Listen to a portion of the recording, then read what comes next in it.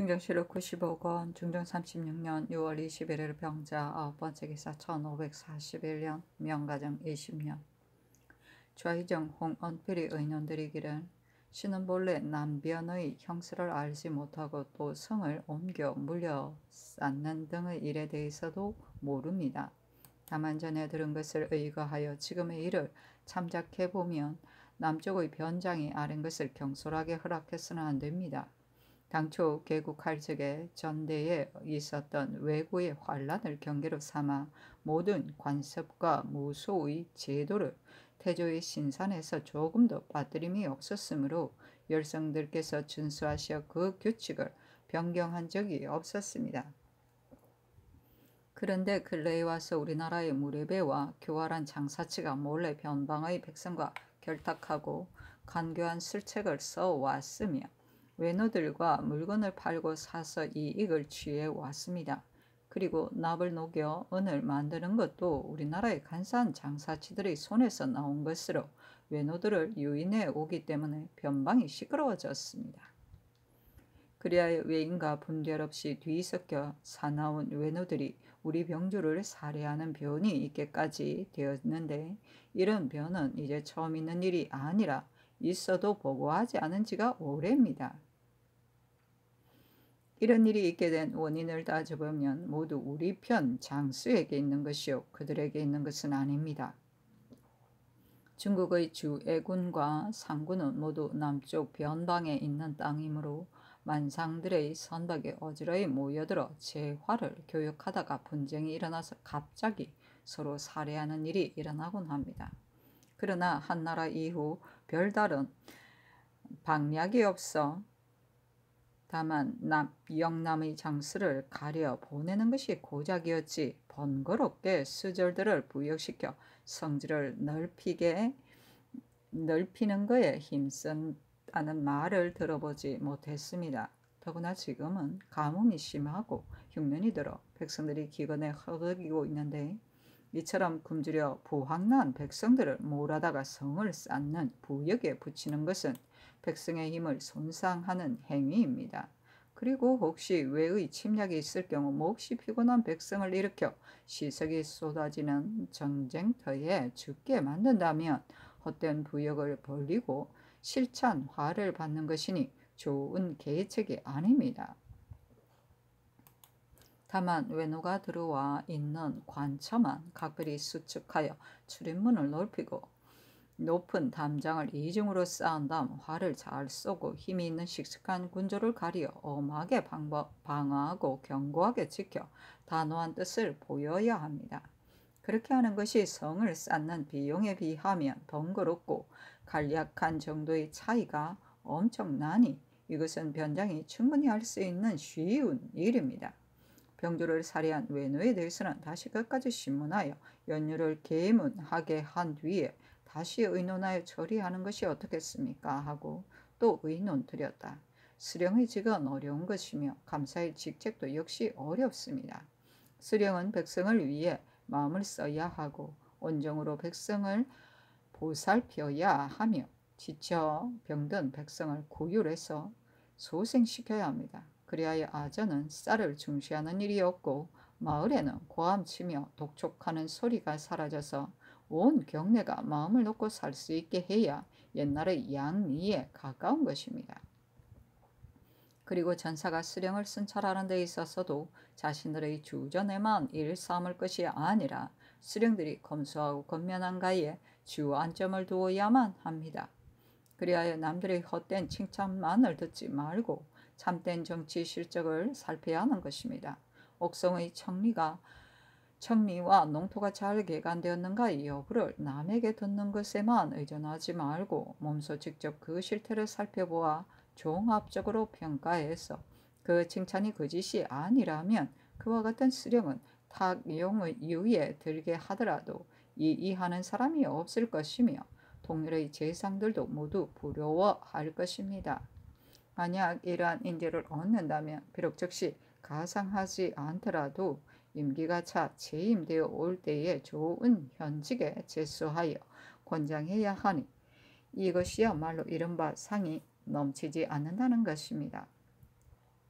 그 사이에 만약 문돌이 한미하거나 또 사류가 아닌 자가 있으면 갑자기 대간이나 시종의 반열에 끼게 할 수 없을지라도 종교 외의 다른 조 및 여러 좋은 관사에 현직으로 뽑았어도 됩니다. 현저실록 95권 중조 36년 6월 21일 병자 열 번째 기사 이기를 의정부 우 참찬의 우 맹선을 한승부 판윤의 엄헌을 홍문관 전환의 이중량을 사관은 정언에 제수하다. 중조실록 95권 중조 36년 6월 22일 정축 첫 번째 기사 주와 이정의 의논을 정원에 내리며 이르기를 외인에 관한 사건은 곧 군사 기무의 중대한 일이다. 그러므로 조정과 함께 의논하여 처리해야 마땅하며 반드시 섣불리 계획해서는 안 된다. 다만 좌상의 의논을 보니 지금 경관을 파견하자는 의논은 필요치 않다는 뜻이 말 표면의 은연 중에 나타났다. 과연 조정에서 관리를 파견하여 길문하더라도 만약 경장을 사용하지 않으면 반드시 자수하지 않을 것이고 끝내 자수를 받아내지 못한다면 도리어 나라의 위엄만 손상시킬 뿐이다. 그러니 어느 병사를 시켜 엄한 말로 개유하고 반복하여 캠으로써 단서를 찾은 다음에 경관을 파견하여 주문하는 것이 어떻겠는가. 이제 승지가 대신들의 회의를 참견했을 때에도 혹 이와 같은 의논이 있었는지 가령 추구, 힐문에서 실정을 얻어낸다 하더라도 기양을 보내기는 곤란한 일이요. 또 형을 시행할 수도 없으니 앞으로 어떻게 하면 좋겠는가. 그리고 어제 비밀이 전교한 일은 경찰관으로 하여금 비밀이 제포 첨사에게 말하라고 했는데 다만 수직하는 군사가 만약 혐의와 원한을 품고 있는 집이 있다면 무고할 이치도 없지 않을 것이니 반드시 작물을 아울러 확보한 다음에 출국하여 취재해야 한다는 것을 아울러 말하는 것이 좋겠다 하였는데 정원이 회개하기란 어제 회의할 때에 허다한 사람들의 의논을 다 알 수가 없었습니다. 혹 들으니 외인들이 근래의 횡포가 더욱 심하니 국가의 근심이 앞으로 클 것이다. 지금 그들을 국문으로 다스리더라도 저들이 비록 그 둘을 스스로 잃었으니 할 말이 없을 것이다. 이야말로 성토 취죄 취죄해야 하는 기회이니만큼 관리를 파견하여 취국해야 함은 부득이한 일이다. 그리고 외인들은 양국을 받는 것을 중대한 이익으로 여기고 있는데 만약 접대를 하지 않고 또 유포량을 주지 않겠다고 한다면 그들 스스로가 적발하여 보낼 것은 필연적인 사실이고 이미 적발을 했다면 상명하는 것이 전례이다. 그리고 도주에 동료하여 국법을 명백하게 보여주는 것이 마땅할 듯하니 이 기회를 잃어서는 안 된다고 하였습니다. 하니 알았다고 찬교하였다. 진저실록 95권 중종 36년 6월 22일 장축 두 번째 기사 장원에 찬교하였다. 중국이 우리나라를 증하게 대우하는 것은 오로지 문헌의 나라이기 때문이다. 그러므로 옛날에는 자제를 보내어 태학에 들어가게 한 적도 있었다.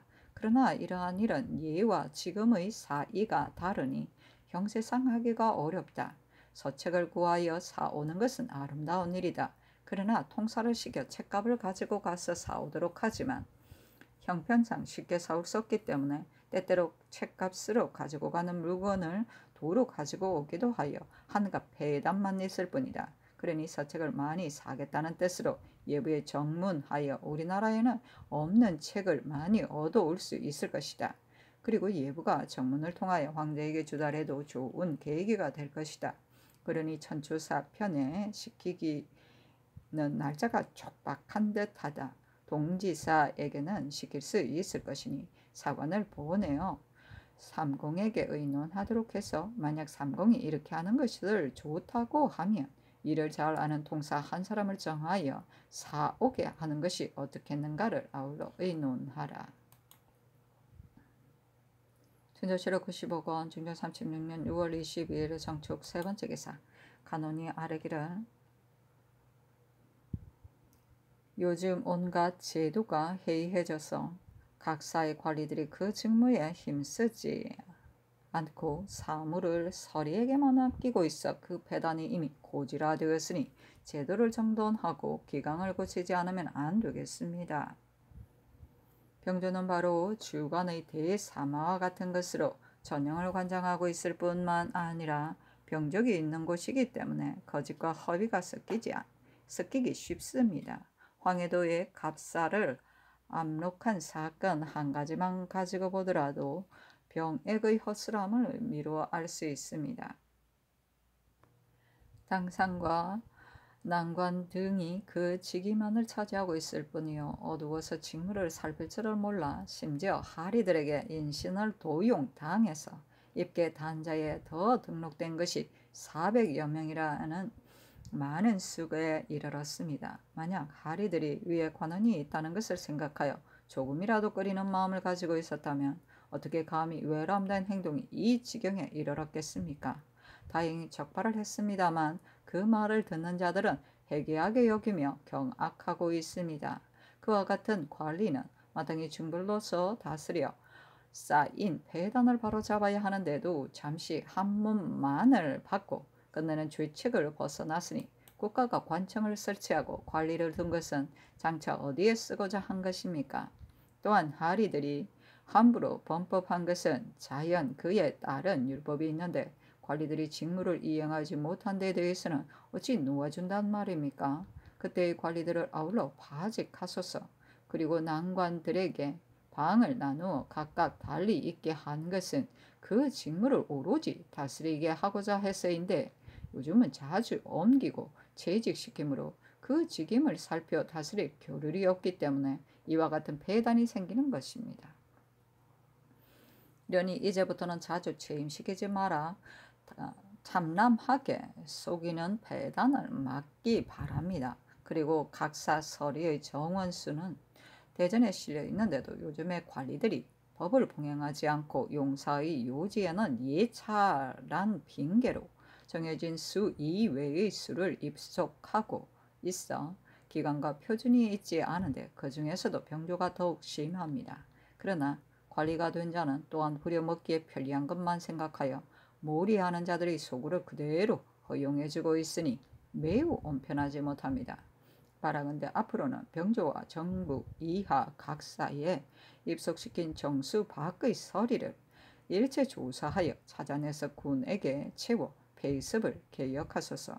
그리고 무릇 관리를 영불 서용하는 법은 그 법이 이미 무거운 것인데 당초 죄를 정할 때에 자세히 핵실해야 하고 이미 결정된 뒤에는 쉽게 도로 서용해서는 안 됩니다.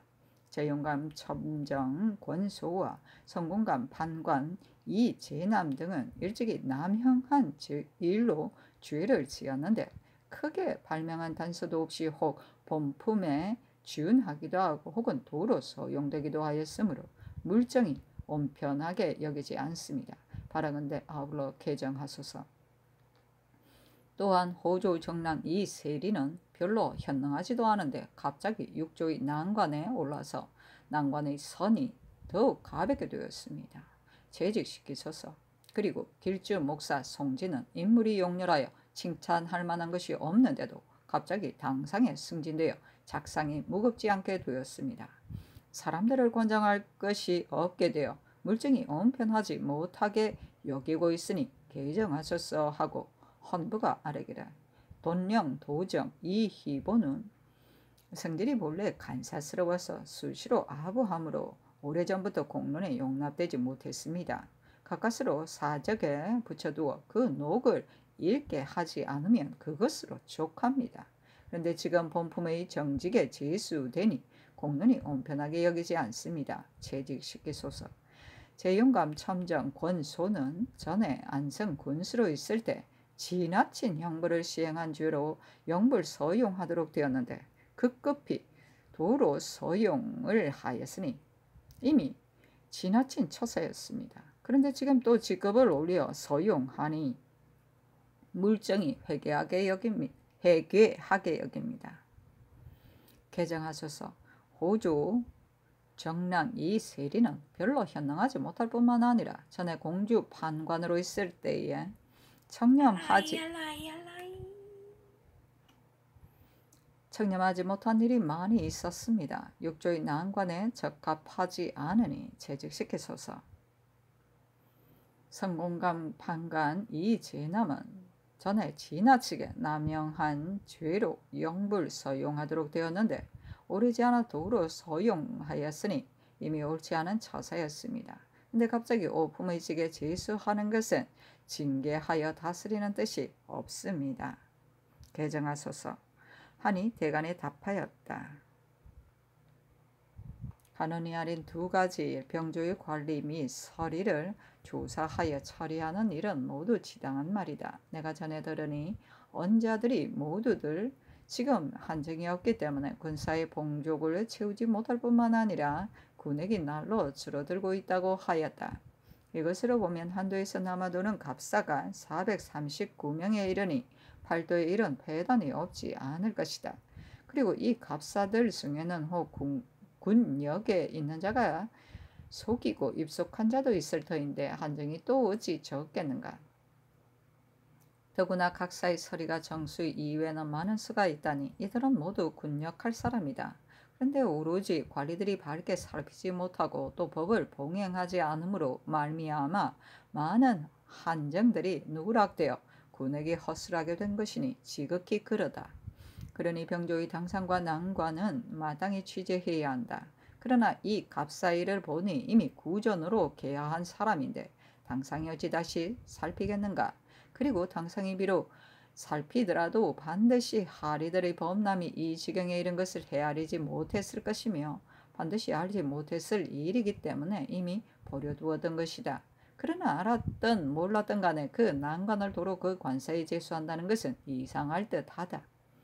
권물이 병주 저랑에 제수되었을 때의 일이다. 권물이 정은에 제수되었는데 헌부가 농계를 하자 권물이 인혐하였다. 그래서 채직시키고 도로 병조 좌랑에 제수하였다. 아울러 파직시킨다면 무거울 듯하다. 그리고 정부 이하 각사의 서리로 정수에 넘치는 사람들을 이미 군역으로 배정하라고 하였는데 각사에서 속이어 점가할 뿐만 아니라 이조에서도 법전을 생각하지 않고 각사로 많은 수를 배전해 보냈으니 이것은 이조에서 잘못한 것이다. 또한 이조는 서리를 관장하는 해당 관사로서 자체 관사의 서리수도 이미 넘치는 형편인데 더구나 다른 관사의 서리를 살필 수 있겠는가? 만약 법련하게 전지를 받든다면 비록 정수 밖의 서리를 일체 조사하여 찾아서 군역으로 정하여 퇴폐한 풍조를 혁파한다고 하더라도 반드시 얼마 안 되어 다시 옛 상태로 돌아가게 될 것이다.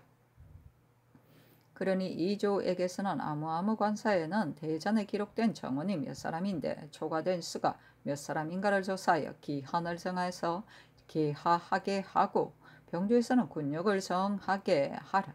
만약 뒤에도 현재 정수 밖의 서리가 있다면 과다하게 점거한 관사뿐만이 아니라 이조와 병조의 해당 당상관을 파직시키는 것이 좋겠다. 그리고 영불 서용의 법은 진실로 엄한 벌이다.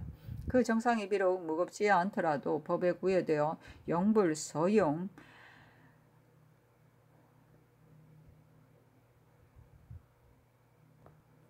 된 자도 있다. 그러므로 옛부터 이미 징계를 하여서도 도로 사용하였던 것이다. 그런데 권소일은 이미 오래되었고 또 사품을 지낸 자이니 개정할 필요가 없다. 이 제남은 근래 경영관의 계청으로 사용한 것이고 또 이미 사품을 지낸 자인데 지금은 오품에 제수하였으니 개정할 필요가 없다. 이 세린에 대해서는 그 인물됨은 모르지만 만약 양과의 출신이라면 호조 난관에 채직할 필요가 없다. 송진은 전에 당상의 망에 주의를 하, 되어, 주의되었었으니 지금 당상이 되었더라도 지나친 것이 아니다. 그리고 병조 난관은 자주 채직하지 않는 것이 좋다. 다만 이 관사의 난관은 모두 대관이나 시종이 시종에 지수할 만한 사람들이기 때문에 사세로 보아 오래 맡길 수 없다. 그러나 자주 채직시키지 않는 것이 좋다. 이 희보는 사실 물론이 있다. 그러나 재능이 있기 때문에 조정이 버리지 않는 것이다. 그러니 돈령, 도정이 무슨 관계될 것이 있는가? 채직시킬 필요가 없다. 중조실록 95권 중종 36년 6월 22일 정축 네 번째 기사 영의정 윤원보가 의논드리기를 요즘 여관들에게 서책을 구매해 오라고 하지만 의뢰 사기가 어렵 다면서 책값으로 가지고 간 물건을 도로 가지고 오는데 이것은 반드시 중국의 검령으로 인하여 마음대로 사올 수 없기 때문입니다. 서책을 사오는 일은 실로 아름다운 일입니다. 중국에서 우리나라를 대우하기를 내복과 똑같이 여기고 있으니 만약 예부의 정문을 보내어 우리나라에서 서책을 사려는 간절한 뜻을 보인다면 반드시 막지 않을 것입니다. 그러나 천수사가 출발할 때 하기는 촉박할 듯합니다. 그러니 동지사가 갈 때 일을 잘 아는 여권 한 사람에게 위임해 보내어 사오게 하는 것이 마땅할 듯합니다.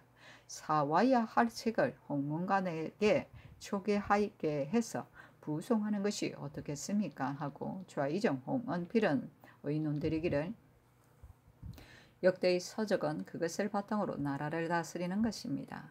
그러므로 한나라 시대부터 열국 제후 및 외국들은 모두 중국에 청하여 서 책이 끊어지지 않게 하였으며 우리나라도 중국 조정에 청한 것이 많았습니다. 그러니 전례를 강구하여 중국 조정에 요청한다면 황제가 반드시 아름답게 여겨 받아줄 것입니다. 그리고 전에 홍문관에 쌓아둔 서책도 폐조의 난을 겪는 동안 산실된 것이 반은 되고 조, 좋은 본이 간혹 있기는 하지만 질이 맞지 않은 것도 많습니다. 그러니 급하고 필요하여 꼭 사와야 할 서책의 이름을 적어서 그 글을 아는 여권 한 사람을 별도로 정해보내어 모른지기 선본을 사다가 비각에 비장해 놓아야 합니다. 이 일은 바로 국가의 큰 일이니 상상의 뜻이 지당합니다. 이번 사행에 시행하기는 기한이 이미 촉박하여 안 될 것이나 다음 사행 길에는 시행할 수 있을 것입니다. 하고 우의정 윤 인경이 의논드리기를 서책은 중요한 보배입니다. 만약 예부에 정문을 한다면 얻기가 어려운 책을 사올 수 있을 듯합니다. 다만 중국에 화재가 나서 구묘를 모두 태웠으니 이것은 막대한 재변입니다. 그러므로 중국 조정에서는 걱정하고 두려워하고 있으며 황제가 자기를 죄책하는 조서를 중외에 반포하기까지 하였습니다. 그러니 지금은 그 시기가 아닌 듯합니다.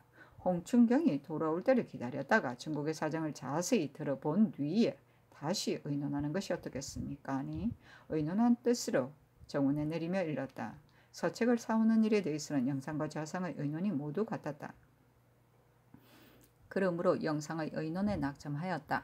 그리고 사와야 할 서책의 이름을 홍문관에게 초출하여 서객해 해서 사오도록 하도록 사오도록 하라고 하였는데 이 말이 지당한 말이다. 다만 우리나라에 있는 서책은 아직 널리 펴내지 못한 책이라도 점차적으로 인쇄해 낼 수 있을 것이다. 그러니 우리나라에 없는 서책만을 동지사가 갈 때 사오도록 하는 것이 좋겠다. 현조실록 95권 중조 36년 6월 23일 모인 첫 번째 기사 헌부가 이희복 권소 이세린 이제남의 일을 아뢰었다. 또 아뢰기를 군자 강감의 쌀을 내어 백성들에게 대출할 때 티끌, 흙, 기와 쪽, 돌 등이 뒤섞인 쌀이 89석이나 되었는데 한 석의 쌀이 돌을 빼내고 나면 겨우 이 삼두에 지나지 않기 때문에 백성들이 받아가지 않았다고 합니다. 그리고 그 깨끗 그 나머지 깨끗한 쌀이라는 것도 모두 먼지와 흙이 섞여서 백성들이 받으려 하지 않은 것이 매우 많다고 합니다. 이렇게 된 이유는 많은 군수 물자의 수량을 헛되이 떠버렸기 때문에 이렇게 극도로 잘못된 지경에 이른 것이니 아주 회개하고 경악스러운 일입니다. 그러니 전수하던 관리와 고자들을 아울러 추구하여 취재하소서 하고 간원이 병조의 관리 및 이 세린과 송진 등의 일을 아뢰니 답하였다. 군자 강감의 일은 지극히 회개하고 경악스럽다. 전수하던 관리와 고자를 조옥에서 추구하라. 그리고 병조 당상과 난관을 아울러 송수하는 것이 좋겠다. 나머지는 모두 윤하지 않는다. 중조실록 95권 중종 36년 6월 23일 모인 두 번째 기사 정원의 전교하기를 헌부가 아른 것으로 인하여 강감의 일을 알았다. 쌀에 티끌과 흙, 기와 쪽, 돌이 뒤섞인 것이 매우 많아서 그것을 가려내고 나면 한 석의, 사, 한 석의 쌀이 이 삼두밖에 안 된다고 한다. 어찌 강간만 이러하겠는가. 미면을 맡은 각사도 다 이러할 것이니 비록 두 번 번고할 수는 없을지라도 관리를 파견하여 척간하게 하라. 한 창고에서 1, 2석을 빼내어 보면 줄은 수량과 다른 물건이 섞, 섞인 사실을 알아낼 수 있을 것이다. 다만 위에서 이와 같이 한다면 아래로 유사의 일을 침해하는 듯하다. 그러나 또한 적간하지 않을 수 없다. 오늘은 날이 저물어 미처 할수 없으니 내일 호주 난관이나 감찰 중에서 자상하고 명철한 자를 각각 한 명씩 관사마다 나누어 보내요. 창고 가장 밑바닥에 있는 곡식 두 석씩을 꺼내어서 보면 될 것이다. 그리고 그 본사의 관리와 고자로 하여금 손을 쓰지 못하게 하는 것도 또한 좋을 것이다. 군사를 거느리고 가는 일은 병조에 이문하여 정해서 보내게 하면 제때 거느리고 갈 수가 없을 것이다. 그러니 한 관사에 몇 명씩 거느리고 가야 하는지 그 수를 헤아려 정한 다음 와서 아래고 표신을 내어 가지고 입번 군사를 거느리고 가는 것이 좋겠다. 그러나 이 일은 비밀이 해야 할 일, 일이라 난관을 불러서 말해서는 안 되기 때문에 당상을 명초한 것이 한 것이니 이 뜻으로 말하라. 지금은 비록 안다고 하더라도 반드시 술술을 부릴 일이 없을 것이다. 그러나 적간하는 일이기 때문에 비밀히 말하는 것이다. 진조실록 95권 중조 36년 6월 23일 무인 세 번째 기사 정원이 아래였다. 지금 천지를 봤을 때 강감의 어느 관원을 추구해야 할지를 모르기 때문에 부득이 강감의 관원과 고자를 범칭하였으나 새로 제수되어 온 사람들은 추구하지 말고 전임자를 잡아다 추구할 일로 전교에 의하여 건부에 말했습니다. 준조시록 95권 중전 36년 6월 24일 기며 첫 번째 기사 대간이 전의 일을 아뢰니 이 세리의 일은 아랜대로 윤호하고 나머지는 윤호하지 않았다. 진조시록 95권 중조 36년 6월 24일 기며 두 번째 기사 호주 당상 등의 값을 연해 강감을 번고할 때 수참했던 권원의 서명 단자를 가지고 들어와서 아래기를 연 번고할 때 담당 번원을 이와 같이 서게 합니다만은 티끌과 흙이 섞인 일에 대해서는 어느 때 이렇게 되었는지 모르겠습니다. 다만 그 곡식을 상고해 보니 왕자고에서 나온 것인데 왕자고는 값을 연해 번고할 때 번고를 하지 않았습니다. 번고를 하지 않았는데도 이와 같이 티끌과 흙이 섞여 있으니 이것 또한 알 수 없는 일입니다. 매년의 회계를 상고해보니 각 창고에서 조미를 옮기다가 왕자고에 넣어두었다고 되어 있는데 각 창고에서 옮겨오던 자들이 이와 같이 한 것인 듯 합니다만 확실히는 알 수 없습니다. 그리고 이 창고의 곡식이 과연 오래 묵은 것입니다만 서울에 내어 발적에는 당연히 묵은 곡식을 나누어 주어야 하기 때문에 이 곡식의 이 창고의 곡식을 주었던 것입니다. 또한 요즘 미면을 맡은 각사의 일은 참못 허술한 점이 많아 점, 장차 번고를 하려 하였으나 배단이기 때문에 하지 못했습니다. 미면을 맡은 각사와 포백을 맡은 각사를 일시에 아울러 번고를 한다면 배단이 있을 것이나 차례대로 번고를 하여 실지 수량을 알아보고 난 다음 본 수량이 없는 것은 관리와 고자에게 생징해 내는 것이 어떻겠습니까? 하니 답하였다. 아른 뜻은 잘 알았다. 어제 정교한 뜻은 번거할 때 교검하지 못해서 아래 사람들이 함부로 법을 어기고 이런 실수를 부린 일이 있게 된 것인가 하고 생각했기 때문에 소개하도록 한 것이다. 그런데 지금 들으니 왕자고에 이곡식이 있었고 또 번고도 하지 않았다 하니 이 관리들은 관계가 없는 것이다. 그리고 이 창고의 곡식은 이미 지나간 수년에 걸쳐 받았던 것이고 또 다른 창고에서 옮겨온 쌀도 있으니 어느 때 이와 같은 일이 발생했는지 모르겠다. 번고를 해야 한다는 것은 아는 뜻이 지당하다. 다만 흉년이 든 때에 갑자기 거행할 수 없으니 우선 농사일을 보아 갈거지를 기다려서 짐작하여 다시 아래는 것이 좋겠다. 중조실록 95권 중조 36년 6월 24일 기묘 세 번째 기사 의금부의 공사를 정원에 내리며 이르기를 각 인의 조사에 낸 번고한 뒤로는 한 번도 폐봉을 열지 않았고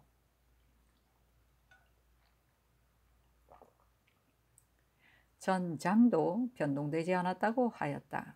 그러나 호주가 하는 뜻을 보니 연 번고할 때 왕자고를 열지 않았다고 했는데 이 관원은 반드시 번고를 했는지 여부를 모르고 이와 같이 납조하였을 것이다. 그러니 관원은 우선 형초하지 말고 먼저 고자를 주문하는 것이 옳을 듯하다. 그러나 다만 시 고자는 재임한 지가 오래되지 않았고 전 고자도 또한 내내 번고를 했는지 여부를 모른다면 어느 때 이와 같이 간사하고 못된 짓이 있게 되었는지 모르니 그들을 형추하기도 곤란하다. 그러나 요즘 경창의 곡식을 민간에게 대여할 때에 두량을 열어보았다면 티끌과 흙이 섞여 쌀이 축났음을 알았을 것인데 두량을 열어보지 않았으니 이것은 잘못이다. 이 죄로 조율하는 것이 좋겠다 하고 또 전교하였다. 다시 헤아려 보니 이전에 일을 잘못했다고 하여 조율한다면 관은 모두가 주의를 입어야 한다. 두량을 살피지 않은 것으로 조율한다면 관계되지 않은 관은 주문하지 말 것을 판부에 부표하는 것이 좋겠다. 중조실록 95권 중조 36년 6월 25일 경진 첫 번째 기사 병조판서 김안국이 태지 오속을 진상하고 이어 아래기라 신이 시골에 있을 때 고수를 보니 물 이끼로 종이를 만든다는 말이 있는 것을 보았습니다. 그래서 신이 시험 삼아 만들어 본 것입니다. 이끼로 종이를 만드는 법은 당나무에 이끼를 섞, 섞어서 만드는 것으로 이끼가 어린 것에는 당나무를 조금 더 넣고 이끼가 센 것이면 당나무를 매우 적게 넣어도 좋은 종이가 됩니다. 만약 각도에 하유하여 공사 간에 동행하게 한다면 반드시 이익이 있을 것입니다. 아니 답하였다. 이것으로 종이를 만들어서 서울과 지방에 나누어 주어 쓰게 한다면 관부와 민간이 모두 이익이 되겠다. 그러니 지금 진상한 종이 내속, 일속은 권례에 두었다.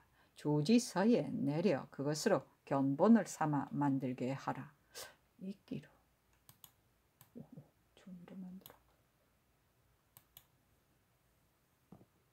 진조실록 95권 중조 36년 6월 25일 경진 두 번째 기사 대간이 전의를 아래였으나 허락하지 않다. 진조실록 95권 중조 36년 6월 25일 경진 세 번째 기사. 헌문관 전환 엄흔 등이 상처하기를. 저번에 이 월강과 미 월강으로 나누어 이 율로 만들어 양사가 이미 서경을 넘겼는데 지금 다시 제정한 신조는 전율과 이름만 다를 뿐인데 한 달이 못되어 갑자기 서경을 내어 구차하게 대신의 뜻과 함께 하기를 마치 누구에게 부림을 받는 자들처럼 하였으니 조정에서 대관을 경솔히 대우하는 것일 뿐만 아니라 대관이 스스로를 가볍게 여기는 처사도 심합니다. 신들은 논사는 자리에 있는 신분으로서 대관이 가볍게 되어 가는 것을 보고도 감히 아뢰지 않을 수 없습니다. 하니 답하였다. 대관이 이 법을 석영한 줄은 미처 몰랐다. 과연 석영을 했다면 앞뒤의 처리가 다르다. 대관이 논액을 받았으니 그 직에 그대로 있기는 곤란할 것이다. 재직시키는 것이 좋겠다. 중조실록 95권 중조 36년 6월 26일 신사 첫 번째 기사 최보환을 사헌부대사관의 김만균을 승정원 동부 승제 이찬을 사가는 대사관의 민세량을 지비에 윤원형을 사관의 김서성과 송세형을 장량에 윤형과 정희 등을 지평해 권철을 헌납해 김천우와 성세장을 정원에 제수하다. 중조실록 95권 중조 36년 6월 27일 이모 첫 번째 기사 정원에 전교하였다. 어제 경상 우도 병마 병사 방호 이의 계본을 보니 영등포 만호가 후원 없이 고단하게 바다를 왕래하다가 외적을 만나 집회하여 그 인신을 분실하였고 그가 거느렸던 군인들도 행방불명이 되었다고 하였다. 보통 때에는 변장들이 비록 이와 같은 일이 있을지라도 모두 사실을 숨기고 보고하지 않았는데 이번에는 마침 그 사실이 드러났다. 마누를 즉시 잡아다 추국해야 하는데 형세가 어려울 듯하다. 그렇다고 이 일 때문에 별도로 사신을 보낼 수는 없다. 경차관을 명하여 마침 다른 일로 내려가게 하였으니 직접 이준경이 제포의 외적을 추국하는 일로 내려가 있었다. 만호 및 사관들을 아우러 추국하여 보고하게 하는 것이 마땅하다. 이 뜻을 병조에 말하라. 계보는 다음과 같다. 영등포 만호, 송거 등이 수토의 명을 받은 일로 갔다가 제포로 돌아오던 중에 외선 한 척과 서로 만났는데 미리 겁을 먹고 달아나 인신과 군기 및 조방장 조세희영과 군인 29명이 간 것이었고 송거만이 겨우 죽음을 면했습니다. 변장의 도리를 크게 상실했으므로 거제관에서 수금하고 당초에 몇 명이 배를 타고 가다가 적 외 몇 명과 서로 만나 집회하였다는 사연을 수사 이 극공이 친히 영등포에 가서 추구하고 있습니다. 중조실록 95권 중종 36년 6월 27일 이모 두 번째 기사 대간이 전의를 아래였으나 허락하지 않다. 중조실록 95권 중종 36년 6월 29일 갑신 첫 번째 기사 대간이 전의를 아래였으나 허락하지 않다. 중조실록 95권 중종 36년 7월 1일 원리후 첫 번째 기사 정원에 전교하였다. 요즘 부경의 옛 전례를 보니 조종조에서 4대의 정성이 지극했다. 가호에 지나는 일은 예부터 지금까지 하지 않은 적이 없었는데 전에 말하는 것을 들으니 이와 같은 일은 우리나라의 폐단을 있게 하는 것이니 할애해서는 안 된다고 하였다. 나 또한 옛 전례를 보지 못했기 때문에 과연 그렇다고 답하였는데 이것은 모두 고사를 몰라서 그런 것이다. 사대하는 일은 중국에서도 그에 대한 등록이 있을 것인데 일시의 말로서 작은 폐단을 개선하여 소홀히 하고 간략하게 해서는 안 된다. 그래서 구묘의 변에 대하여 내가 전에 의논한 것이다. 끝내 봉위할 사신을 보내지 않는다면 그만이겠지만 만약 보내야 한다면 경사에 가는 사행을 보낼 때 한 사람의 사신을 더 자임하여 하인을 아우러 인솔하고 가게 한다면 별 배단은 없을 것이다. 태묘의 소목이 모두 불에 탔다고 하니 천하의 큰 변괴이다. 그러니 어찌 이에 전례가 있겠는가? 성질사가 만약 공천사 용경을 말한다. 음, 나 혹시 혹 예부의 관원을 만나 말이 이 일에 미치게 된다면 무슨 말로 대답해야 할지를 모를 것이니 뜻밖의 일을 대비하여 정해 놓지 않을 수 없다. 천주사가 갔을 때 갑자기 이 일을 언급하게 되면 미리 조정의 뜻을 알고 있다가 대답하는 것이 좋을 듯 하기 때문에 말하는 것이니 삼공은 그에 대해 의논하여 아래라. 중조실록 95권 중조 36년 7월 1일 을리오 두 번째 기사 헌부가 권수와 이 제남의 일을 아뢰었다. 또 아뢰기를 요즘에 제포의 외노들이 성을 넘어가 살인하기에까지 이르렀으니 변방의 헌반은 이미 시작된 것입니다. 그러므로 변장이 된 자는 더욱 경계를 하고 단속해야 하는데도 변이 생긴 지 얼마 안 돼요. 영등포 만호가 병기도 갖추지 않은 채 병선만으로 밤길에 경솔이 출발했다가 외적을 만나 집회하여 사람과 물건이 모두 간 곳이 없게 되었으니 이는 필시 외노에게 남김없이 살해와 노력을 다항하였을 것입니다. 참으로 회개하고 경악스럽습니다. 평상시에 주장이 방비하는 일에 마음을 쓰지 않고 척후하는 일을 전부 배제하고 거행하지 않아 외적의 변이 문정에서 발생하도록 만들었던 것입니다. 그리고 변이 생기기 뒤, 생긴 뒤에도 오히려 경계의 마음을 가지지 않아 변방의 중대한 일을 미처 계문을 하지도 않았으니 외구에 대한 경계를 소홀히 하는 경향이 심합니다. 그러니 주장 이외의 사관은 경차관에게 출국하게 해도 좋겠지만 주장에 대해서는 예사로운 일로 여겨 외방에 둔 채 출국해서는 안 됩니다. 스사 이 극군과 만호 송구를 아울러 잡아다가 추극하여 조정의 조정이 변에 경계한다는 뜻을 보이소서. 그리고 수사 이 극공은 직에 있게 할 수 없으니 먼저 파직시키고 그의 교대관을 각별히 가려서 차임하여 빠른 시일 내에 재촉하여 부인께 하소서. 부산참사 이 직은 채임된 지 이미 오래되었는데 이와 같은 도적의 변이 일어났을 때에는 이미 채직되었으므로 호령이 시행되지 않아 방비가 허술해졌습니다. 신참사 이지는 제수된 지 또한 오래되었으니 3일 안으로 재촉하여 부인케 하소서. 요즘 사람들은 자기를 헤아려 보지도 않고 남몰래 분수에 넘치는 마음을 품고 있어 경직에 갑자기 승직되는 것을 요행으로 여기고 변장 및 잔업의 수령에 제수되는 것은 모두 싫어하고 꺼려서 온갖 방법으로 틈을 타 보아 피합니다. 패습이 이 지경에 이르렀으니 그 패단을 고치지 않으면 안 됩니다. 개천 군수 신종은 경직에 있고자 하였고 분수에 넘치는 승진을 희망하여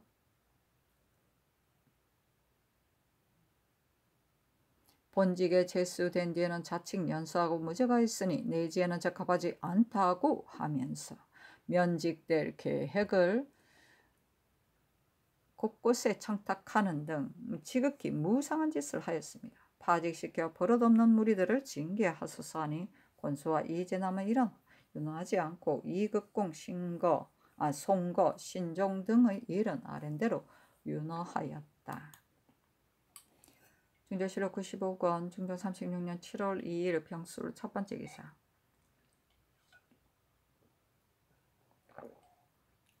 영의정 윤헌보와 의정 윤인경이 의논들이기라 전에 황제가 자신을 죄책하는 조세의 반포로 인하여 사신을 보내어 위문해야 하는지의 여부에 대해 신들에게 의논하라고 하였는데 옛날에는 이런 예가 없었고 또 내국과 외국의 분별이 있다고 생각되었기 때문에 사신을 보낼 필요가 없다고 하였습니다. 그 뒤에 다시 헤아려 보니 태묘에 불이 나서 여러 사당의 신주가 모두 불에 타 황제의 조서에 불 속에 달려들고 싶다고까지 하였으니 이것은 실로 천하고금에 없던 병고입니다. 그러므로 보통 때 가호와 상시 같은 등의 일에는 오히려 모두 표를 올려 하려 하였는데 지금은 삼국에 큰 재변이 있는 것을 알면서도 못 들은 체 하는 것은 사대하는 성의에 어그러짐이 있을까 두렵습니다. 그래서 다시 의논하여 사신을 보내 위로할 일을 주청하려고 했으나 하지 못했습니다. 그런데 성상의 하유를 보니 지당한 말입니다. 동지사의 행차 때에 한 명의 사신을 더 자임하여 함께 가게 하며 폐단이 없을 듯합니다. 그리고 천추사가 만약 공천사나 혹 예부의 관원을 만나 이 일을 언급하게 되면 마땅히 대답하기를 우리 행렬이 들어올 때 앞에 관이 요동에 도착하였다가 조서를 기록해가지고 돌아갔으니 생각하건대 반드시 계달을 했을 것이다 라고 하면 좋을 듯합니다. 요즘 제포에 정박하고 있는 외노들도 감사함을 알고 있을 것인데도 여염에 출입하여 물품의 판매를 자행하면서 진장의 금령을 일체 어기고 있습니다. 그리고 저번에 우리 배가 집회한 지역이 바로 제포의 문 앞이었는데도 오히려 기탄 없이 한 배에 탔던 군줄들은 남김없이 도살하였으니 그들이 앞으로 남쪽 변방을 노력하여 시끄럽게 될 조짐이 이미 이번 일에서 드러났습니다. 무릇 적을 제어하는 데는 유신에게 맡겨서는 안 되니 광진을 갈고 재력이 있는 무신을 가려 차임에 보내되 빠른 길 내에 가서 그를 대신하게 하소서. 그리고 서책을 사오는 일에 대해서는 예부에 정문을 한다 하더라도 예부가 감히 마음대로 하지 못할 것이요 반드시 주청하고 시행할 것이므로 이자하는 것이 마땅할 듯합니다. 다만 모든 서책을 계속하여 사올 수는 없으니 자문의 내용에는 반드시 연속하여 무역을 허락해 달라는 뜻을 언급해야 합니다. 하고 조아이정 홍 언필이 의논드리기를 외국 국왕이 중국 조정에 직접 조의할 수 없기 때문에 배이의 신하를 보내어 중국에 들여보내는 것입니다. 그리고 천자의 용흥 때와 정조 같은 때는 그만두더라도 간혹 천자가 상중에 있거나 혹 난리 등을 비하여 비난했을 때는 위문을 하고 본문하는 것도 예가 있습니다. 예전 당나라 때 안록산의 나안에 태묘의 나무로 만든 신주가 불에 타 재가 되었고 현종은 촉당으로 비란했었는데 신라에서는 사신을 보내 촉까지 갔었으니 이것은 천자가 비란한 것에 대해 위문자 같던 것이요 태묘에 화재가 나서 그렇게 한 것은 아닙니다. 그리고 춘추 시대에는 송나라와 정나라 등의 열국에 화재가 났었는데 이웃 나라가 서로 주위를 하였습니다. 이것을 미뤄 생각해 보면 서로 빅문하여 재변에 주위를 표하는 것은 바로 이웃나라가 서로 국교를 맺고 지내는 예의인 듯합니다. 그런데 지금 태, 중국의 태묘가 화재로 거의 다 탔으니 중국의 재변이 이보다 더한 것이 없으므로 중국 조정이 크게 놀라 해내에 주소를 반포하기까지 한 것입니다. 그러니 지금과는 사신의 행자에 별도로 한 명의 사신을 붙여 보내어 위문의 뜻을 주달해야 한다는 성상의 생각이 지당합니다. 우리나라를 본뒤 후하게 대우하는 황제인지라 지금 이 사신을 보면 반드시 가상하게 여기리라고 생각됩니다. 다만 걱정되는 것은 중국 조정의 유식한 선비가 외국이 중국에 사신을 보내는 데는 때가 있는 것으로 전에는 이런 예가 없었는데 지금 새로 전례를 만들어서 사신을 보낸다고 하면서 예의에 맞지 않는다는 기롱을 하지는 않을까 하는 것입니다. 소국이 대국을 섬기는 데는 정성이 지극해야 하지만 이 일은 반드시 예가 있어야 합니다. 그러니 지금 천추사가 갔을 때및 천사가 이 일에 대해 물으면 일행이 요동에 도착했어야 들었다. 그러나 우리나라의 전례가 어떠한지는 모르겠다고 편의에 따라 대답하게 하는 것이 무방할 듯합니다.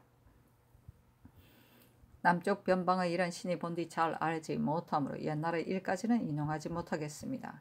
요즘의 일로 보면 경무년 외변이 일어나려던 때에 조정에서 별도로 무신 중에서 위험이 있는 자를 파견하여 날마다 외를 지지하는 것으로 일을 삼아 오로지 엄격한 것만을 승상하자 외노들은 분독한 마음을 가지고 선동을 하여 난을 일으켰으니 이것이 그 증험입니다.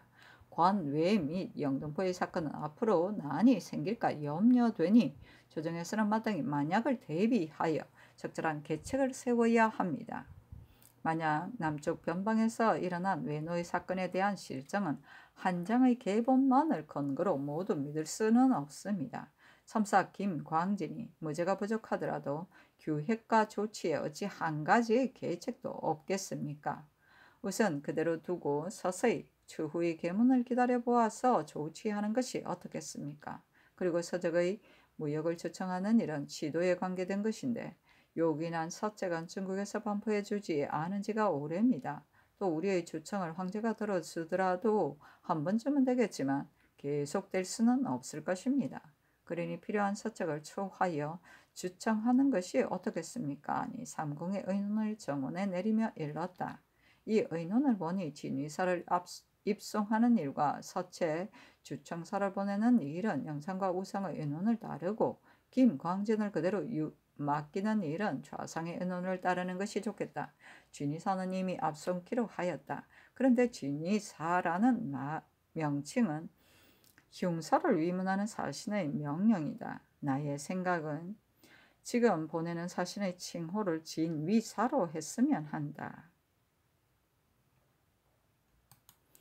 중조실록 95권 중조 36년 7월 2일 병술 두 번째 기사 대간이 권수와 이 제남의 일을 아뢰었다. 또 헌부가 아뢰기를 청도군수 장응성은 죽은 첨정 이 장길의 첩 월중계의 딸이 그의 아비로부터 물려받은 전민이 매우 많다는 소문을 듣고 나이가 아직 열살도 못 되었는데 나보다 먼저 첩을 삼으려고 하였습니다.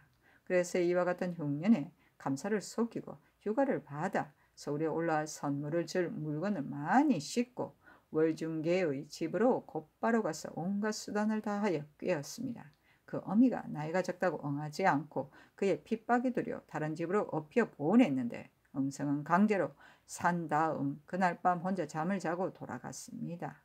그의 마음씀이 담비하기 때문 하기 그지 없으니 바직시켜 사습을 바로잡아서싸 하고 가논이 또 아래기를 흥양 현감 주 세황은 인물이 용렬하여 결코 책임을 감당할 수 없으니 채직하소서. 요즘 창고에 전수하는 노자들이 도둑질을 자행하고 있는데도 관리들은 보통 일로 여기고 태만하게 적발하여 보고하지 않아 배습이 이미 이루어졌습니다. 그래서 중대한 궁극의 자본도 날로 비고 줄어들고 있습니다. 전 군자 판관 박인손이 수직하는 날에 간수를 엄하게 하지 못해서 하인들이 공공연하게 자물쇠를 열고 훔쳐내게 하였으니 일이 매우 회개하고 경악스럽습니다. 그런데도 즉시 적발하여 보고하지 않았으니 덮어두려는 계획도 없지 않았을 것입니다. 그런데 채차만을 명한다면 뒷사람을 징계할 방법이 없으니 그 직을 파하소서. 그리고 금근의 구전은 반드시 취재로 하는데 시수의 고화에 따라 차례대로 구전을 하는 것이 전례입니다. 요즘은 사정만을 따르고 공도를 폐하는 것이 습관화되었으나 이 일만은 공도가 남아 있습니다. 지난번 병조가 우림군을 구전할 때는 경자년 취재 때의 실수 우등자도 구전되지 못한 자가 많은데 기한이 지난 기해년 취재 때의 실수 부족자들을 사람들의 청탁을 받고 전례를 어겨가면서 구전하였습니다. 이렇게 사정을 따르고 공도를 무시하면 그 배단이 끝이 없게 되니 치고하소서. 그리고 관리가 전례를 어기고 구전하는 자를 아울러 개정하소서 하니 양사에 답하였다. 권소와 이 제남은 이런 윤하지 않는다. 장응성은 범죄가 증하기 때문에 아랜대로 윤화한다. 흥양 현감은 과연 자주 채직되었고 채직되면 오래도록 부임하지 않았다. 조 세황은 인물이 어떤지 모르겠으나 감찰로 현감에 제수되었으니 개정할 필요가 없다. 요즘 각사의 관리들이 하리들을 금속하지 못할 뿐만 아니라 관가의 사물을 하리들에게 맡김으로 지극히 허술하다. 더구나 도둑을 맡고도 곧바로 해주에 보고하지 않으므로 처음에는 파직시키려 하였는데 그 공사를 보니 공죄였기 때문에 파직식 채직하기만 한 것이다. 하지만 대간이 아는 것을 보니 마땅히 파직시켜 뒷사람을 징계해야 하겠다. 우림 이 등의 일은 아랜대로 윤허한다. 중조실록 95권 중조 36년 7월 3일 정해 첫 번째 기사 대간이 전의 일을 하렸으나 허락하지 않다. 중조실록 95권 중조 36년 7월 3일 정해 두 번째 기사 경기 마전에 사는 민가에서 암탈기 병아리를 깠는데 눈이 셋, 머리가 둘, 부리가 둘인 병아리가 있었다. 너무 희한하다. 중조실록 95권 중조 36년 7월 4일 모자 첫 번째 기사 천추사 이기옹이 경사에 가다. 중조실록 95권 중조 36년 7월 4일 모자 두 번째 기사 장원에 전교하였다.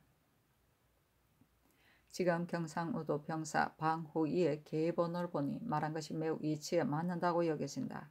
일이 아주 긴급하니 삼공에게 의논하여 아뢰어라.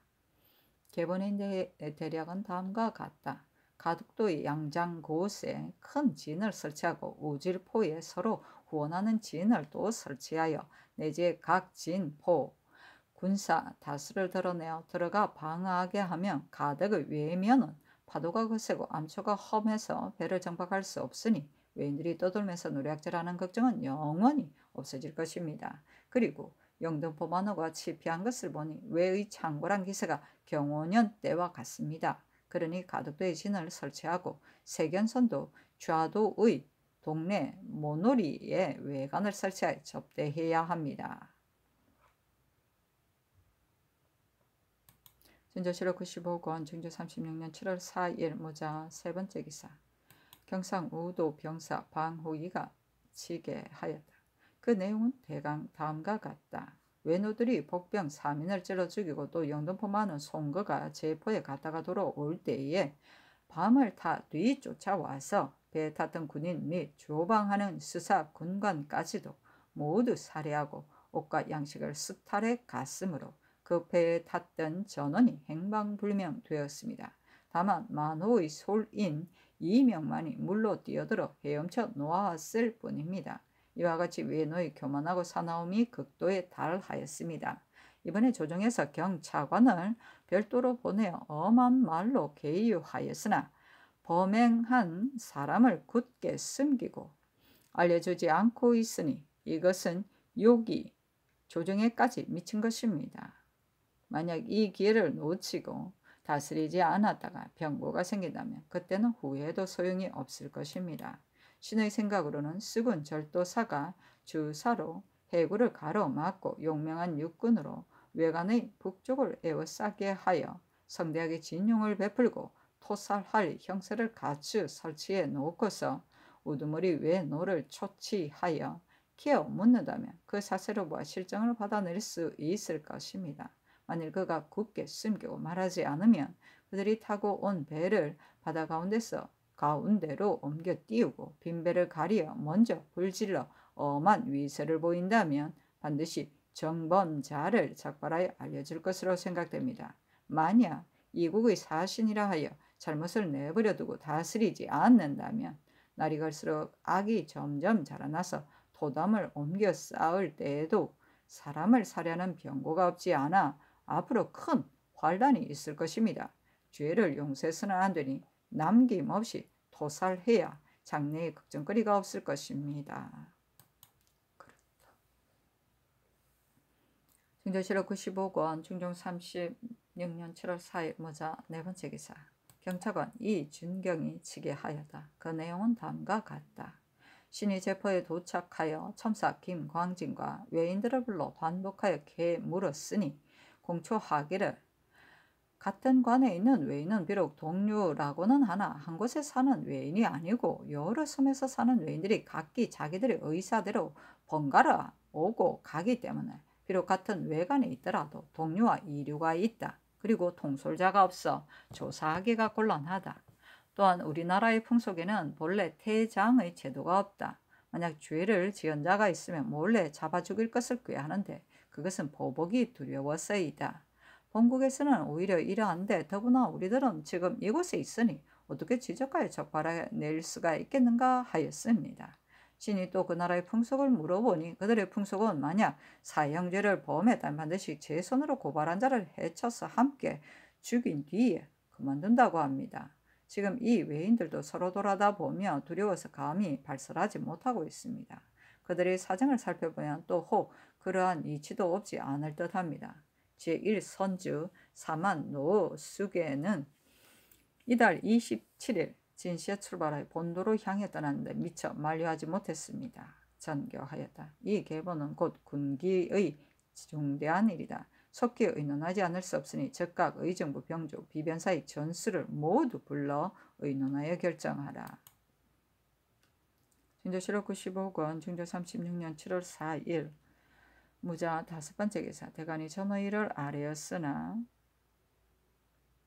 아래였는데 조세영의 일은 아랜대로 따르고 나머지는 연호하지 않았다. 중조실록 95권 중조 36년 7월 4일 무자 여섯 번째 기사 흰 기운이 건방에서부터 선방에 이르기까지 하늘에 퍼졌다.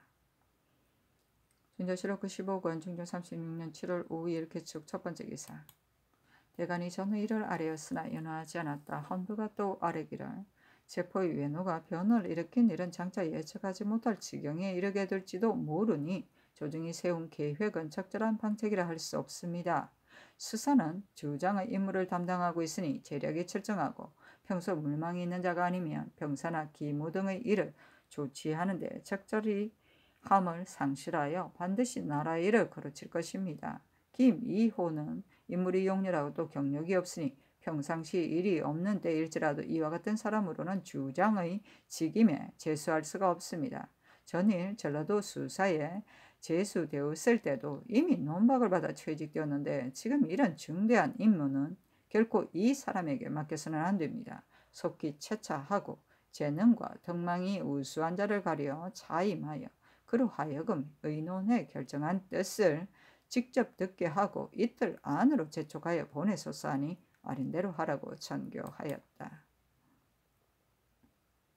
준조실록 95권 중조 36년 7월 5일 개축 두 번째 기사 영의정 윤원보 초와 이정 홍언필 우이정 윤인경 오조 판서 윤임 병조 판서 김안구 우찬성 양년 이조 판서 성세장 우참찬 이기 한승부 판윤 우맹선 동지 중추부사 송숙건 행 상호군 장언량 예조판사 신거관 병조판 참판 한숙이 빈청에 나갔다. 대신들에게 전교하기를 이품인 사람도 수사에 제수할 수 있다. 장언양이 변방의 일을 잘 안다고 하는데 지금 한가 한 직, 관직에 있으니 특별히 이 직에 제수하는 것이 어떻겠는가 하니 대신들이 회개하기를 상의본부가 지당합니다. 다만 언양은 두 차례나 중풍에 걸려서 지금도 다 낫지 않았으니 병든 몸으로 가기가 어렵습니다. 지금 한창 변사가 긴급하니 수사가 편히 앉아 있을 수 없고 반드시 배를 타고 출입해야 할 것인데 풍습 증세가 있는 사람으로는 감당하기 어려울 듯하니 그는 적합한 인물이 아닌 듯합니다. 이 사증은 젊고 병이 없으며 또 물망도 있으므로 여러 사람의 의논이 가장 적합하다고 하였습니다. 하였는데 전교하기를 그렇다면 이 사증을 당연히 보내야 한다. 다만 사증이 남쪽 변방의 일을 갖추어 알고 있는지 모르겠다. 윤담이 제포에서 재직되어 온 지가 오래되지 않아 외인의 실정을 자세히 알 것이니 윤담을 보내는 것이 어떻겠는가 하였다. 대신들이 회개하기를 윤담은 외인의 실정을 자, 사실 잘 알고 있습니다. 그러나 반드시 사정을 보내는 것만은 못합니다. 사정은 젊어서 몸이 재빠르고 무죄가 탁월한 데다가 또 지략이 있기 때문에 여러 사람의 의논이 모두 사정이 마땅하다고들 합니다. 지금 여러 의논을 들으니 외적에게 의한 살육이 제포의 문 앞에서 있었는데도 첨사 김광진은 군하지 못했다고 합니다. 멀리 있던 수사도 이미 잡아왔는데 첨사는 아직 잡아오지 않았으므로 여론이 온편하지 못하게 여기고 있습니다. 그리고 변방의 사태가 이미 급해졌으니 의당 문관을 채직하고 무신을 차임해 보내는 것이 시의에 합당할 듯합니다. 아니 전교하기를. 이 사증은 여러 사람의 의논이 이와 같으니 단망으로 주의하여 보내되 와서 오늘의 의논을 듣게 하는 것이 좋겠다. 제포첨사의 일은 개입원에서 본 것과 같으니 마땅히 재략이 있는 무신을 차임해 보내야 한다 하였다. 이유는 뭐 등이 의논하여 아래기를 제포 외노의 횡자한 정상과 그들을 잘 조치할 사이에 대해 전에 이미 의논하여 대마 도주에게 통서하여 조사해 다스리게 하라고 아랬는데 그 서장을 제1선주가 이미 가지고 갔습니다.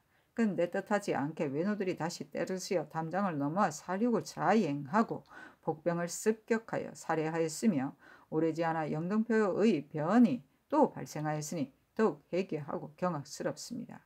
그러니 우선 당장 편안하고 용서해 주어 악을 여물게 하는 변을 꾸미는 꾀를 빚어내게 하는 것은 옳지 않습니다. 마땅히 조처하여 근심거리를 미연에 방지해야 합니다. 신들은 반복하여 상냥했으나 이를 처리하기에 합당한 계책을 얻지 못했습니다. 이미 경찰관을 보내 엄하게 힐문하였으나 굳게 숨기고 불지를 않아서 범인을 찾아내지 못했습니다마는 그래도 이 밖에도 달리 시행할 만한 계책이 없습니다. 그러나 그들이 굳게 숨기는 것을 그대로 두고 끝내 다스리지 않아서는 안 됩니다. 경상 병사가 아린 것은 진실로 시행하기 어렵습니다. 지금 이미 굳게 숨기고 고하지 않고 있으니 저번에 의논대로 외관에 머물러 있는 외에게 유포량과 과해량을 공급하지 말고 대마도로 돌려보내되 만약 범죄한 외인을 추액하여 경상에서 죽이지 않으면 앞으로 나오는 외선을 일체 접대하지 않겠다는 것을 준엄한 말로 다 일러 도주에게 말하게 하면 도주가 응당 두려워서 마음을 다하여 춤은 적발해서 그 죄인을 찾아 바칠 것으로 생각됩니다. 이와 같이 한다면 나라의 위신이 깎이지도 않고 변방의 걱정도 없을 듯 합니다. 하고 또 아래기를 지금 이 조치는 계책을 결정하기가 지극히 어렵습니다. 여러 계획 중에 한 계책은 제포의 외관에 머물러 있는 외인을 모두 구속하여 보내지 말고 도주에게 통수하여 범인을 추문하여 적발하게 해서 나라의 전형을 바르는 것이요. 또 한 계책은 관에 머물러 있는 300여 명의 외를 일체 다 구속하고 놓아주지 않으면 자진하는 사람이 많을까 두려우니 모두를 구속하지는 말고 두 외만을 구속하고 하 외들은 놓아 보내 도주로 하여금 범인을 적발해 보내게 해서 전형을 바르는 것이 마땅할 듯 한다는 것입니다. 그러나 외노들은 성질이 조급하고 버악하며 생명을 가볍게 여기니 지금 만약 구류한다면 반드시 모두 자살할 것이요 또한 사람을 해칠 것입니다. 백방으로 생각을 해보니 모두 이 의논이 양연히 건의한 의논을 말한다. 이만큼 타당한 것이 없습니다. 그리고 지금 서울에 와 있는 외는 저 외들과 관계가 없습니다.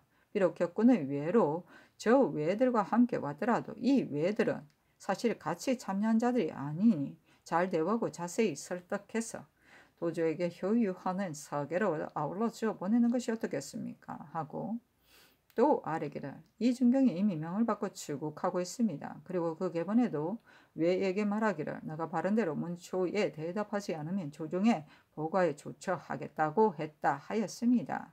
그러니 이제 준경으로 하여금 병사와 함께 의논해서 결정한 내용대로 두 외를 불러 말하게 하는 것이 마땅할 듯합니다. 하니 답하기를 모두 아랜대로 시행하라 하였다.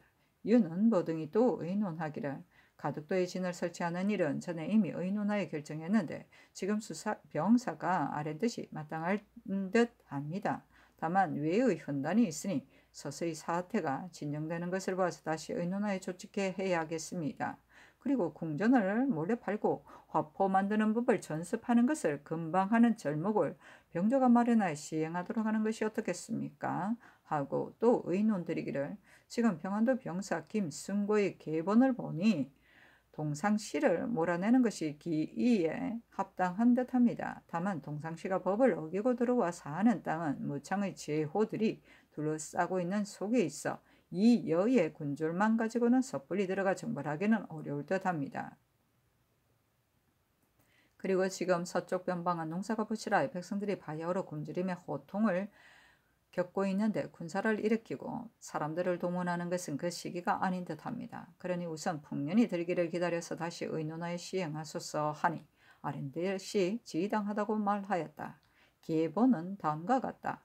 건주의 피인 동다, 방가 등이 국령을 두려워하지 않고 많은 사람을 거느리고 임토의 물가에 와서 초막을 설치하고 삽니다. 비록 강 건너편이기는 해도 재정과 너무 가까우니 제거하지 않으면 안 됩니다. 그래서 전에 엄한 말로 속히 돌아가라고 말하였고 이번 6월 20일에도 또 빨리 철수하라는 말 뜻으로 타일렀습니다. 그랬더니 답하기를 전부터 벌써 살고 있는 자들부터 먼저 토바라에 쫓아낸다면 우리들도 돌아가겠다 하였습니다. 그러므로 반드시 전부터 법을 어기고 와서 사는 자들의 죄를 먼저 다스리고 무창이나 조명천 두 곳 중에 마땅히 먼저 어느 한 곳을 차야 합니다. 그런데 조명천은 들어가는 길이 험해서 가기가 어렵고 무창은 추파로 해서 우령을 넘으면 무창에 이르는데 동상시의 집은 거기서 20여리입니다. 그런데 우령은 높고 험하지만 말을 타고 통행할 수 있습니다. 동상시가 무릅쓰고 국경 안에 와서 살기에 기해년 봄 채탐할 때 약속하기를 가을에도 만약 물러가지 않으면 죽이더라도 원망하지 말라고 했는데 이제까지 그대로 살고 있으니 제호들에게 그 응험을 보여야 합니다. 9월에서 10월은 강물이 반쯤 얼어 배가 통행할 수 없어 그들이 서로 구원할 수 없는 때입니다. 그러니 창성 이상의 군마를 따로 300여 명을 뽑아 들어가 쳐서 국기를 보인다면 조명천 등 야인이 자연적으로 도망할 것입니다.